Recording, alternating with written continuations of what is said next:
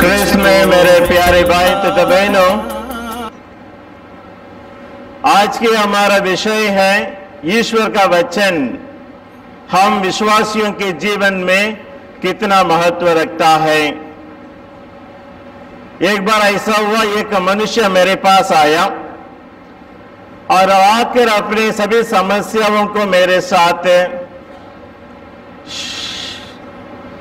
बांटा शेयर किया।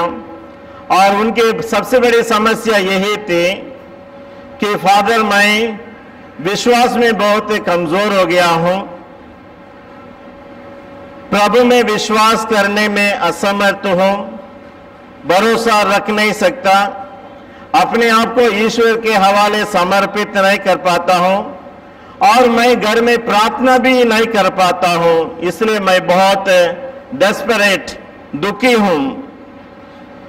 और इसलिए उन्होंने पूछा, फादर, मुझे क्या करना चाहिए ताकि मेरा विश्वास और मज़बूत हो जाए?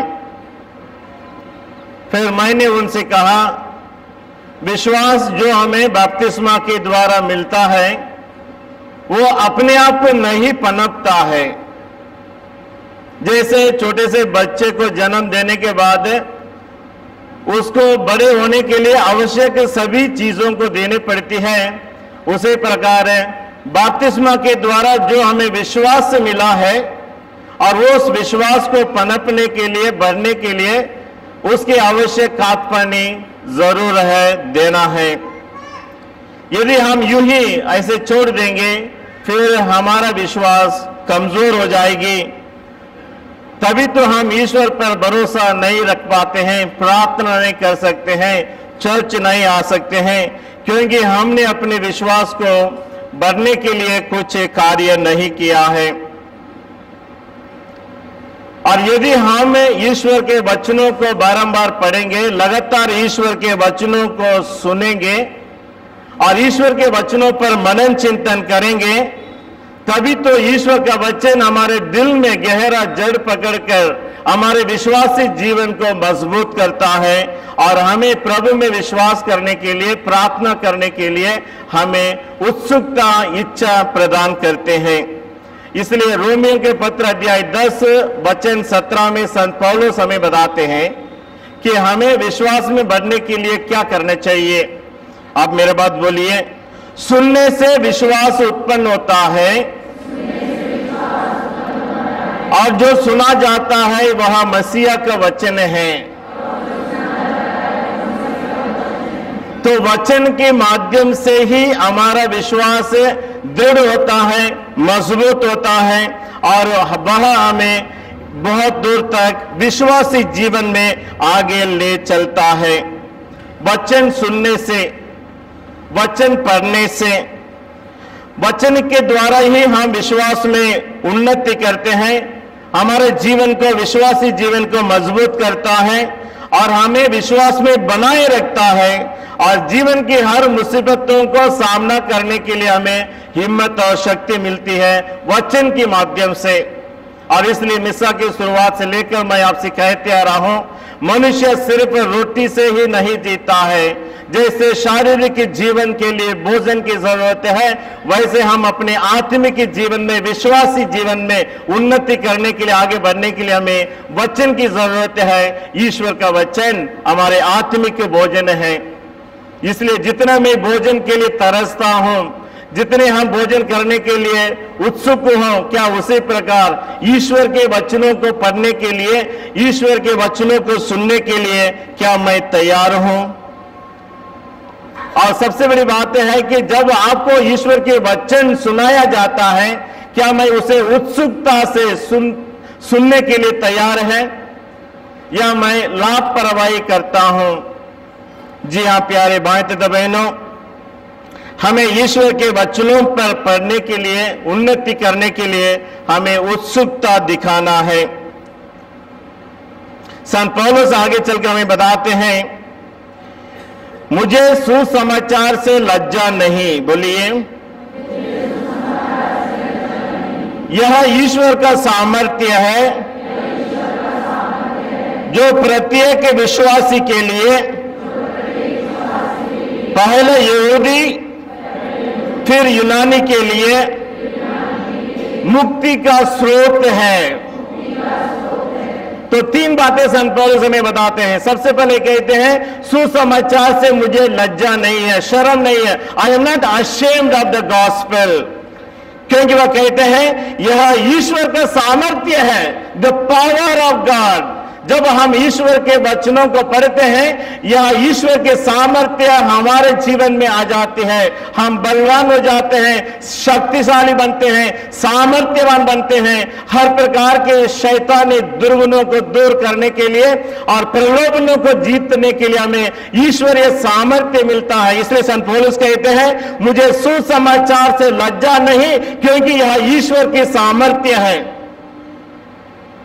हम मनुष्य कितने कमज़ोर हो जाते हैं। जब हम मनुष्य में ईश्वर के सामर्थ्य आ जाता है, फिर हम बलवान हो जाते हैं। जीवन की हर मुसीबतों का सामना करने के लिए हमें सामर्थ्य मिलता है, शक्ति मिलता है। और इसलिए संत पौलुस हमें आज बताते हैं कि किस प्रकार हमें बिना शर्म के, बिना लज्जा करते हुए ईश्वर को अपने जीवन में कैसे ग्रहण करना चाहिए। और इसलिए जब कभी आप अपने जीवन में दुखी हो जाते हैं, निराश हो जाते हैं, समझ लीजिए आप में ईश्वर की सामर्थ्य की कमी है, अभाव है।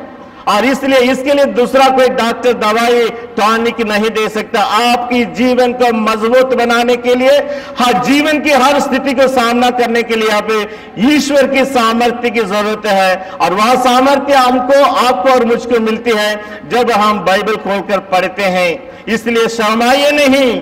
जब कभी हम भोजन के लिए बैठते हैं, उतना ही खुशी से हमें ईश्वर के वचनों को खोलकर पढ़ना है, क्योंकि यह ईश्वर के सामर्थ्य है और हम सबों को बलवान बनाता है।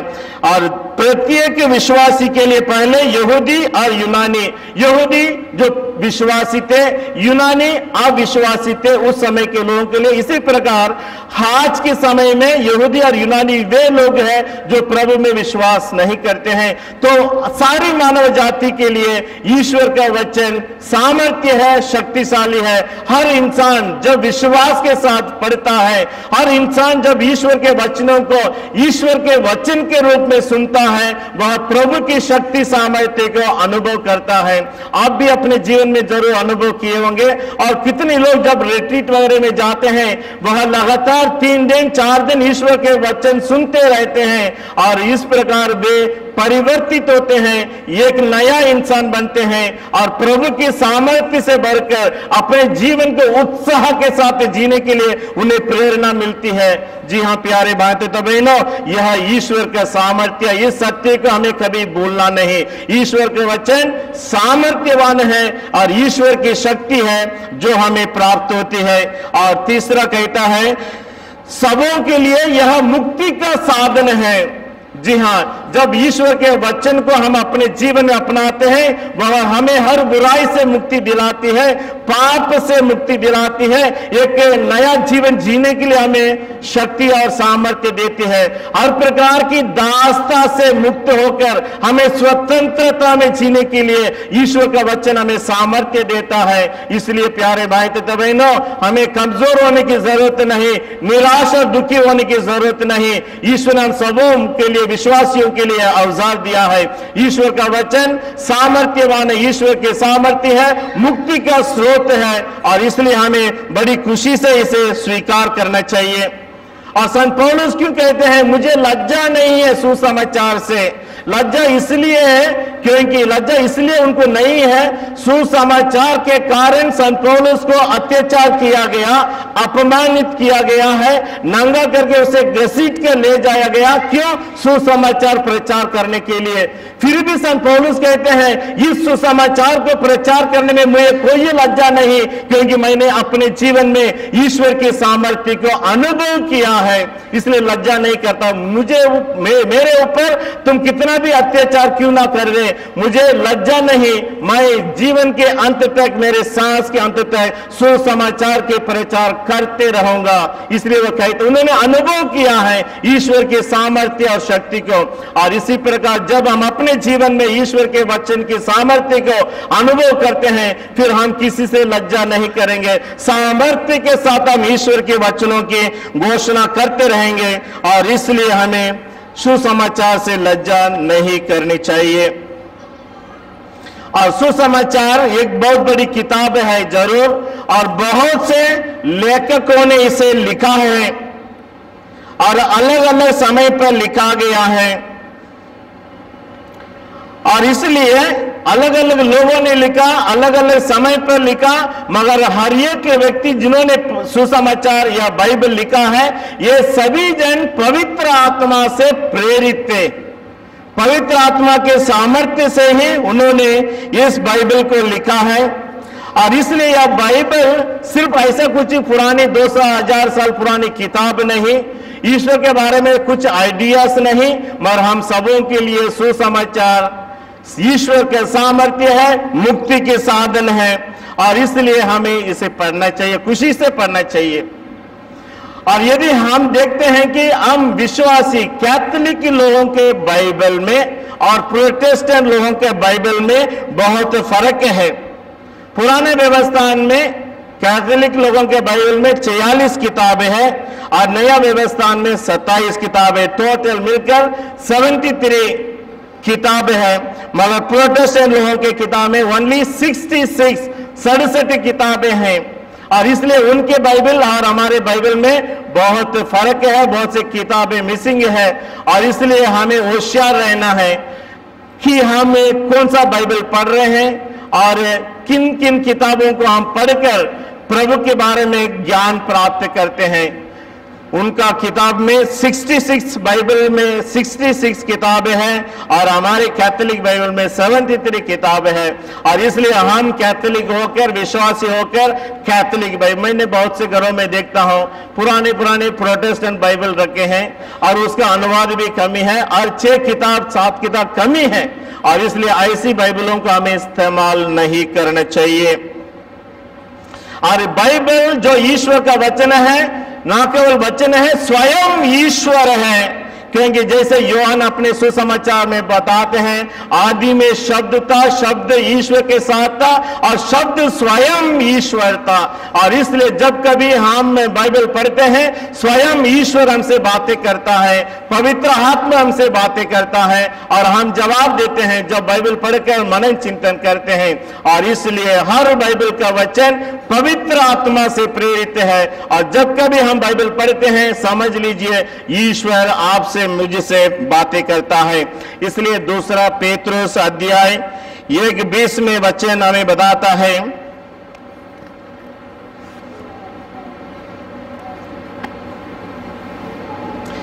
दूसरा पेत्रोस एक बीस में, मेरे बात बोलिए, आप लोग सबसे पहले यह अच्छी तरह समझ लें कि धर्म ग्रंथि की कोई भी भविष्यवाणी व्यक्तिगत व्याख्या का विषय नहीं होती। क्योंकि मनुष्य की इच्छा से कभी भविष्यवाणी उत्पन्न नहीं हुई है, बल्कि पवित्र आत्मा से प्रेरित होकर मनुष्य ईश्वर की ओर से बोले हैं। इसलिए जो कुछ बाइबल के वचन में लिखा है हर एक वचन पवित्र आत्मा से प्रेरित होकर उन्होंने लिखा है। और इसलिए जब कभी हम बाइबल का अनुवाद करते हैं या एक्सप्लेन करते हैं, हम पवित्र आत्मा के माध्यम से, शक्ति से, प्रेरणा से हमें उसे समझने के लिए कोशिश करना चाहिए।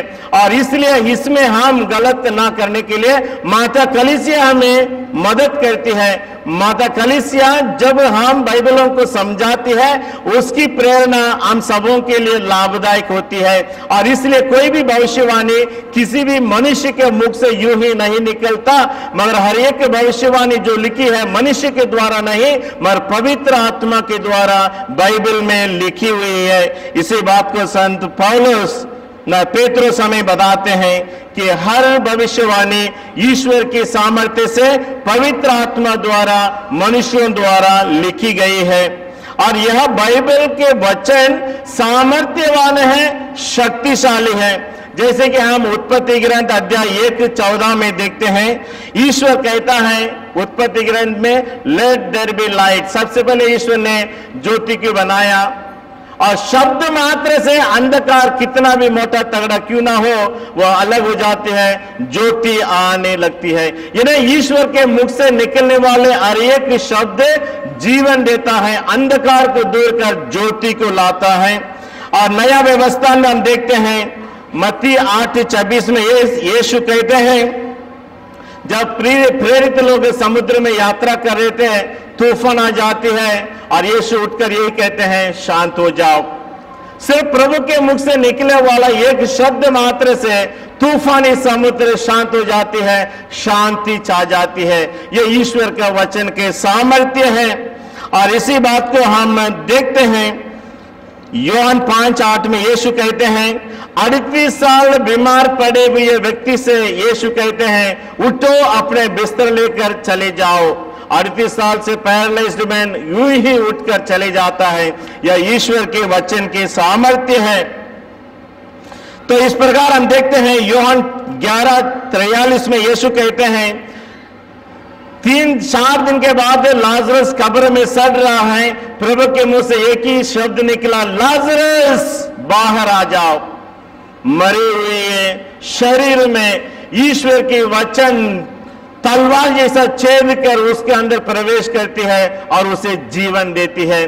तो इस प्रकार प्रभु यीशु के या ईश्वर के वचन में सामर्थ्य है जैसे पौलुस कहते हैं, ईश्वर का वचन में ईश्वर का सामर्थ्य है, और वही सामर्थ्यवान वचन हम बाइबल में देखते हैं। और ये जैसे प्रभु के मुख से निकलने वाला हर एक शब्द सामर्थ्यवान है, हम सबों को भी सामर्थ्य से भर देता है, बलवान बनाता है, और जीवन की हर मुसीबतों को सामना करने के लिए हमें हिम्मत देता है। इसलिए प्यारे भाई तो बहनों, जब आप दुखी हैं, जब आप निराश हैं, और जीवन जीने के लिए आप में उत्सुकता नहीं है धर्म ग्रंथ खोलिए। पर हम क्या करते हैं? धर्म ग्रंथ ना खोलते हुए मुझे अच्छा नहीं लग रहा है, बोर लग रहा है। चलो मैं दोस्तों से मिलने जाता हूँ, या पिक्चर देखने जाता हूँ, या टीवी के सामने बैठता हूँ। क्या इन सभी दुनियाई चीज़ें हमें जीने के लिए उमंग दे सकती है? जीने के लिए इच्छा दे सकती है? नहीं। और भी हमें गल बुराई में डाल सकता है। और इसलिए आज संत पौलुस हमें बताते हैं, ईश्वर का वचन में लज्जा मत कीजिए, यह ईश्वर का सामर्थ्य है। और जब कभी हम ईश्वर का वचन पढ़ते हैं, ईश्वर के सामर्थ्य से हम भर जाते हैं, फिर हमें जीने के लिए हमें मदद मिलती है। इसी बात को यिर्मयाह नबी अपने किताब में बताते हैं, वो अध्याय तेईस वचन उन्नीस में मेरे बात बोलिए, मेरी वाणी अग्नि जैसी है। वह उस हथौड़ा की तरह है जो चट्टान को टुकड़े टुकड़े कर देती है। तो हिरमिया नबी वचन के बारे में दो बातें बताता है। मेरी वाणी अग्नि जैसी है और मेरी वाणी हथौड़ा जैसा है। अग्नि क्या करती है? आग क्या करती है? सब बातों को जला देती है, भस्म कर देती है। और इस प्रकार ईश्वर के वाणी में उतनी शक्ति, सामर्थ्य है। हम में जो बुराइयाँ हैं, जो पाप है, जो बंधन है, हर प्रकार की बुराई को जलाकर एक नया जीवन देने के लिए सामर्थ्यवान है। ईश्वर के वचन एक ऐसी आग है, अग्नि है। दूसरी बात बताते हैं, ईश्वर के वाणी हथौड़ा जैसा है। हथौड़ा क्या कहते हैं, चट्टान को भी टुकड़ा टुकड़ा कर देती है। उसी प्रकार हमारा दिल ईश्वर के प्रति कितना भी कठोर क्यों ना हो, हमारे दिल में कितना भी नवरत मनमुटाव क्यों ना हो, हथौड़ा जैसा ईश्वर के वचन को जब हम हमारे दिल में, जीवन में ग्रहण करते हैं, हमें नम्र बना देती है और ईश्वर के सामने जीने के लिए लायक बना देती है। यह जी हाँ ईश्वर का वचन हथौड़ा है। हम कितना भी कठोर क्यों ना हमें नरम बना सकती है।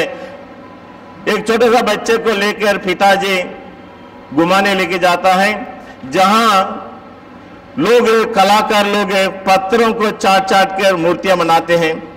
और जब पिताजी ने बेटे को ले गया, काम तभी शुरुआत हुई थी, कोई रूप नहीं दिख रहा था।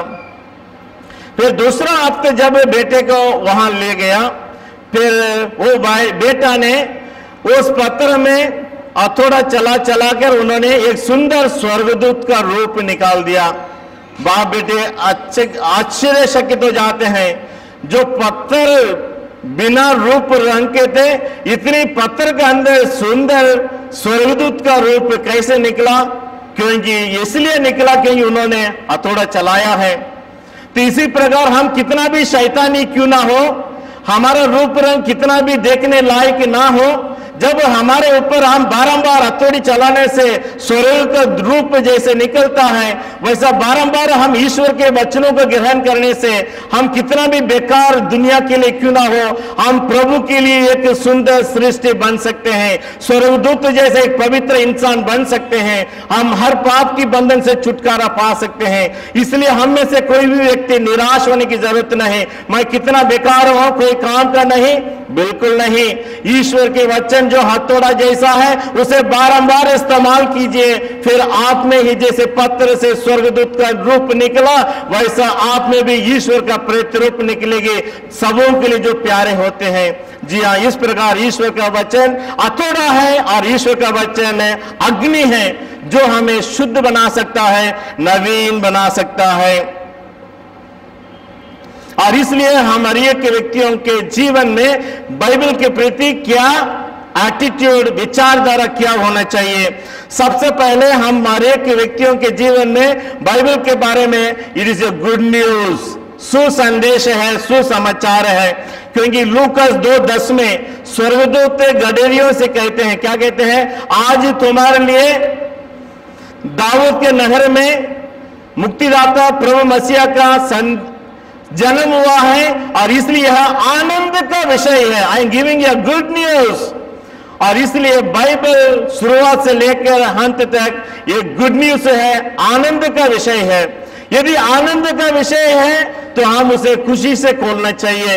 यदि आनंद का विषय है, हम उसे खुशी से पढ़ना चाहिए। यदि यह आनंद का विषय है स्वर्गदूत कहता है, आज मैं तुम सबों के लिए आनंद का विषय सुनाता हूँ। इसलिए सुसमाचार, आनंद का विषय है, और इसलिए जब आनंद के विषय की घोषणा होती है, सुसमाचार आपको सुनाया जाता है। उतना ही आनंद से हमें सुनना है, और सुसमाचार आनंद लाती है हमारे जीवन में। और इसलिए जब हम दुखी, निराश है, रोते हैं आँसू बहाते हैं, हमारे जीवन में आनंद की ज़रूरत है और वह आनंद हमें मिलता है जब हम ईश्वर के वचनों को पढ़ते हैं। इसलिए संत अगस्तिन बाइबल के बारे में क्या कहते हैं? संत अगस्तिन कहते हैं, Bible is a love letter from God. ईश्वर से हम सबों के लिए, विश्वासियों के लिए प्यार का चिट्ठी है। But love letter sounds better है जॉन जब लड़का लड़की एक दूसरों को प्यार करते हैं, जब एक दूसरों से लव लेटर आता है, एक बार नहीं, दस बार नहीं, पंद्रह बार, बीस बार पढ़ते रहते हैं। इन्होंने क्या लिखा कि नहीं, Kattu ji?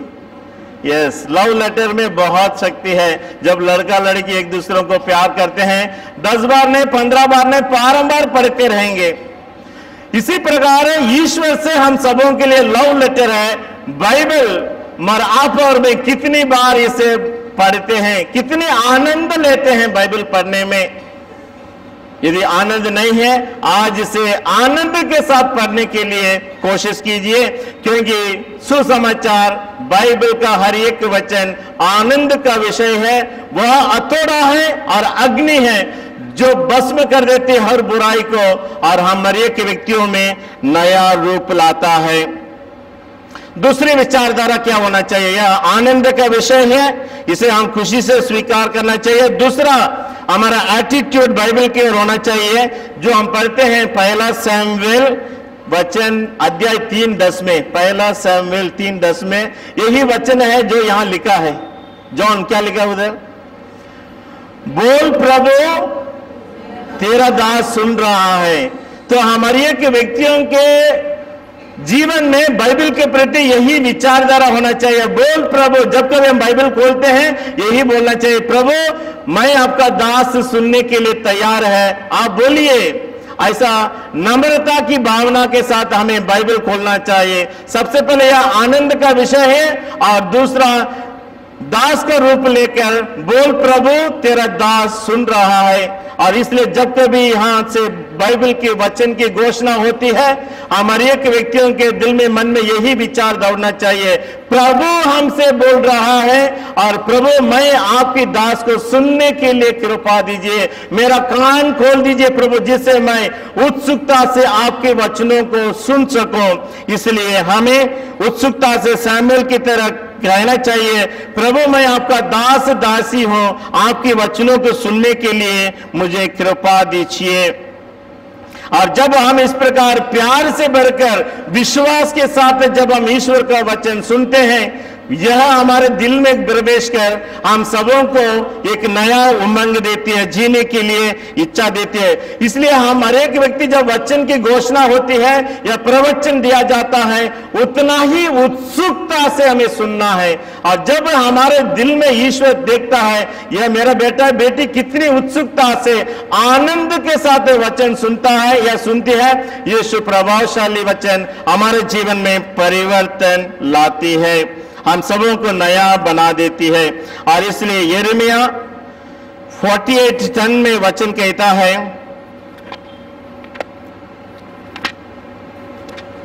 यिर्मयाह 48 10 मेरे बात बोलिए, वह व्यक्ति अभिशप्त है जो प्रभु के कार्यों में शिथिलता दिखाता है। एक बोलेंगे। वह व्यक्ति अभिशप्त है जो प्रभु के कार्यों में शिथिलता दिखाता है। ये शिथिलता क्या होती है? ईश्वर के कार्य में ठंडेपन दिखाना। ईश्वर के वचन की घोषणा होते समय चाय पीने के लिए जाना। महत्व नहीं देना, सम्मान नहीं देना। और ऐसे लोगों के लिए वचन क्या कहता है? जो ईश्वर के कार्यों में शिथिलता दिखाता है, ठंडापन दिखाता है, रुचि नहीं दिखाता है, वचन सुनने में जो आनंद नहीं लेता है, उसके लिए क्या है? वह व्यक्ति अभिषिप्त, अभिशप्त अभिशाप ईश्वर के अभिशाप आपके ऊपर आएगी। You are a cursed you are a cursed man जब आप प्रभु के वचनों को उत्सुकता से नहीं सुनते हैं, आप अभिशप्त है। इसलिए जब आप गिरजाघर आते हैं, यही मकसद लेकर आना चाहिए। हमें ईश्वर की आशीष लेकर जाना है। और इसलिए ईश्वर के आशीष के बदले में यदि अभिशाप मिल रहा है इन्हें, हम ईश्वर संबंधी बातों में जो कुछ इस गिरजाघर में होता है, हमें रुचि से भाग लेना चाहिए। और बहुत से बार मैं देखता हूँ, जब प्रवचन होती है मिश्रा बलिदान होती है, जब पवित्र परम प्रसाद रोटी प्रभु के शरीर में बदलता है, लोग मोबाइल लेके बाहर जाते हैं। इसका मतलब क्या है? इसका मतलब यही है कि यीशु वेदी पर क्यों ना आ जाए? ईश्वर का वचन की भी घोषणा क्यों ना हो जाए? मेरा मोबाइल, मेरा साथी जो भी बोलेगा, वह महत्व रखता है। प्रभु कम सेकेंड प्लेस यदि आप इस प्रकार मोबाइल लेके बाहर जाते हैं, मिस्सा बलिदान में, ना केवल आप दूसरों के लिए पाप का कारण बनते हैं, मगर आप अभिशाप लेकर जाते हैं। इसलिए सावधान रहे, प्यारे भाई तथा बहनों। यदि आपको मिस्सा बलिदान से उठकर बाहर जाना है, आपको आना ही नहीं। जैसे कल परसों फादर ने बताया, जब हम दूसरों के लिए पाप का कारण बनते हैं, हमारे गले में चक्की का पत्र बांधकर समुद्र में फेंकना, इसी लोगों को जीने के लिए अधिकार नहीं है। यदि आप मंदिर आते हैं, हम हर एक व्यक्तियों को पूर्ण रूप से जो कुछ प्रार्थनाएँ होती है, वचन होती है, गाना होती है दिल से मन से भाग लेना है। अदरवाइज़ डोंट कम जब बार बार आप उठकर बाहर जाते हैं, यीशु का अपमान है। आप ईश्वर संबंधी बातों में शिथिलता दिखाते हैं, ठंडेपन दिखाते हैं। ऐसी लोगों के लिए अभिशाप तैयार है। जी हाँ प्यारे भाई तबे बहनों वह व्यक्ति अभिशप्त है जो प्रभु के कार्यों में शिथिलता दिखाता है। इसलिए यदि हम गिरजा आते हैं, दिल और मन से भाग लेना चाहिए। इसी बात को हम उपदेश ग्रंथ में पढ़ते हैं। इसको मैंने पहले भी आपको बताया है। अब वचन मेरा बात बोलिए। यदि तुम ईश्वर के मंदिर जाते हो तो सावधान रहो और पास आकर ध्यान से सुनो। यदि तुम ईश्वर के मंदिर जाते हो, सावधान रहो और पास आकर ध्यान से सुनना है।